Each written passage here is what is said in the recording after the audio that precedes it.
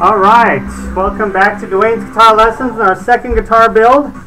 And uh, we're now at the front of the guitar, so here's what it's going to look like, painted with fire. Now, this was done at the uh, art studio that I had talked to you in the last video about doing. I was going to actually show uh, doing the fire, but it didn't really come out exactly like with some stuff we had to go through. This was actually, my teacher did this.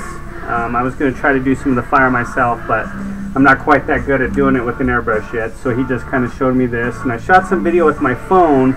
I just need to go through it and check it out.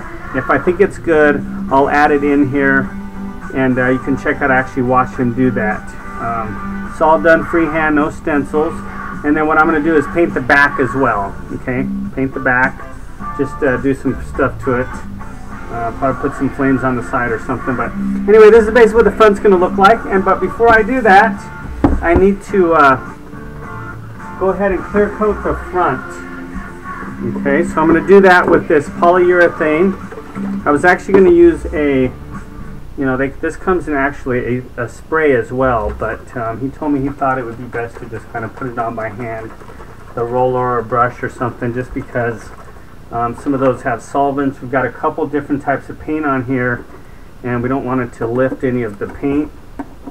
So he told me he thought it'd be best to do it like this. So I'm just going to kind of show you what I'm doing here.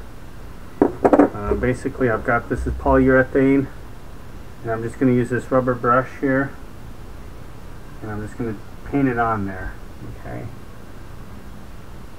And that way, I'm just going to do the front for right now, so that way I can work on the the back. Well, once we get this clear coated, and I'm not really worried about it showing like the brush strokes because once I sand it that won't be seen okay so I'm just going to do the top here the front top of the guitar for right now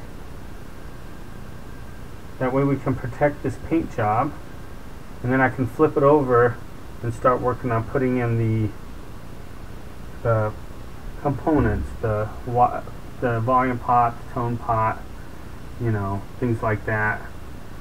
Bridge on. Now this is probably going to take a few coats, I'm sure of it.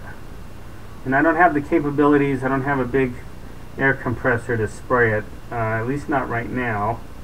Maybe after selling a few guitars I might be able to get an air compressor and and uh, actually spray it with like a air gun like they traditionally do. I just don't have the capabilities of doing that right now. So I'm just going to kind of work with uh, what I do have the capabilities of doing. Pretty uh, low-tech operation, or startup anyway, but it's going to get the job done. And this is going to look really nice when I get it all done. This is just the first part. I'm going to go ahead and uh, this on here. And I just wanted to show you the process like before to show you the process of what I'm doing and how I'm doing it. And uh, then once it dries, then I'll wet sand it and it'll take out the brush strokes. I did this on my other guitar and it worked out really nice. Put out a nice hard glass finish. And so that's what's going to be the situation with this guitar is it's going to have this really nice glass finish. So what you do is you put a coat on there, you let it dry, you sand it, and then you put on another coat, let it dry, sand it, put on another coat, and you keep doing that, and that gives a lot of depth to the uh, to the thing that you're coating. In this case, this guitar. So, just wanted to show you a quick video of this real quick here. And uh, I've got some ideas for the back, what I'm going to do with that. Normally guitars don't have anything painted on the back but um, I just wanted to do it because I think the back is going to make a really good um, canvas for some artwork. probably do some more flames. I'll do some flames probably on the side or something. Uh, maybe doing some in the back. I'm not really sure exactly what I'm going to do yet, but uh, I'll let you know when I get it done. So there we go. We got the first coat of clear on there right now.